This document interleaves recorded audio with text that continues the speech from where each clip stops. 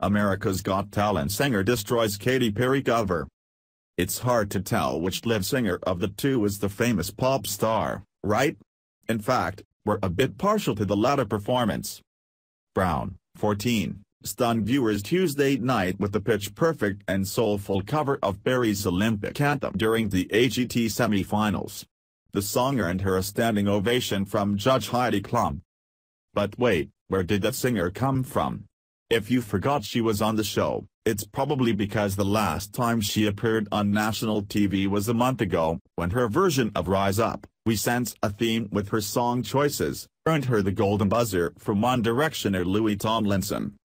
That voice, for a 14-year-old, such a gorgeous recording voice, Tomlinson said after he pushed the button that sent her straight to the live shows.